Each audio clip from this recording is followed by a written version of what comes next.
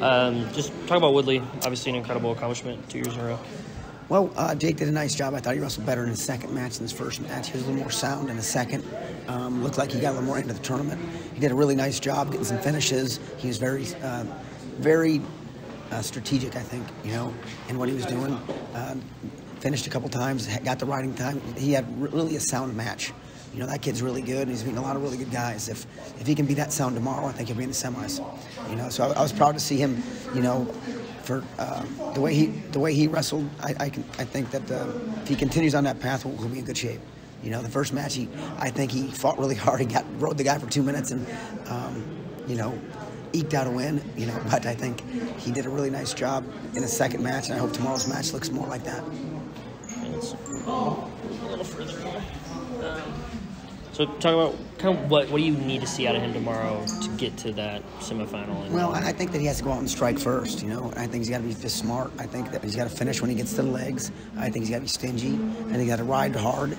You know, um, do all the things, all the little things you're supposed to do. You know, try to score the end of a period. If he can get a takedown, ride as hard as he can, and then, you know, um, you know, score score another one at the end of a period, so it counts as two. You know, um, so, but I think you know he's capable of winning.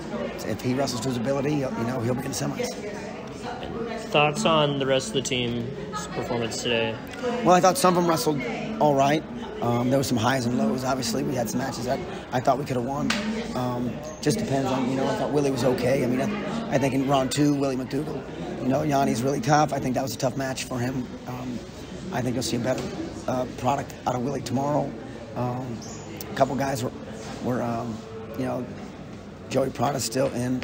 You know, did a nice job. I think he, he, was a little flat this morning in the first round.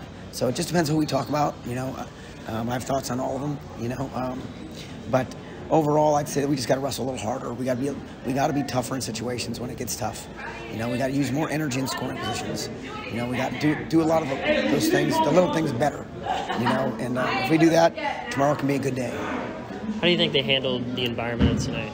Well, I think I think some of them did okay with it. You know, I, I think it's a, it's a really tough NCAA tournament. You're seeing lots of people, uh, uh, low seeds beating high seeds right out of the gates. Um, I think there's a lot of emotion that goes in. It's loud, uh, but but I think most of them handled it pretty well. Um, I don't think that that the environment hurt their performance. If anything, you know, we just got didn't get after the guy enough. All right, thanks, coach. For more information, you can visit TulsaWorld.com.